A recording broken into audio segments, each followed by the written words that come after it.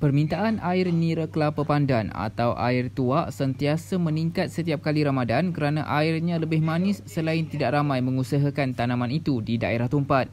Pengusahanya Muhammad Asri Safin, 57 tahun dari Kampung Kelong berkata, dia mengusahakan air nira kelapa pandan di belakang rumahnya sejak 2010 dan kini menambahkan lagi keluasannya dengan tanaman mencecah 320 pokok. Katanya bulan puasa dia mampu menjual sekitar 150 botol air nira sehari berbanding hari biasa hanya 100 botol yang dijual dengan harga RM10 sebotol. Muhammad Asri berkata selain menghasilkan air nira kelapa pandan, dia turut menjalankan perusahaan gula Melaka namun terpaksa dihentikan sepanjang Ramadan.